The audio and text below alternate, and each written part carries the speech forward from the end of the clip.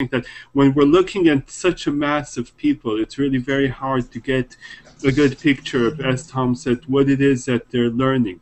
And also, we need to kind of challenge the, the you know the great the sort of conventions of success and failure in, that we take that we bring in from the standard university courses, because I think that even if somebody attended two or three weeks and then um, was drawn uh, by other commitments, which would in usual terms be considered a failure, a dropout. In our case, you know, if you've attended the first three weeks and you got something useful out of that, then you know why consider it a failure? I mean, you know, then you, you have gained something, and and we did give you something. So uh, we we need to really figure out exactly what counts as success.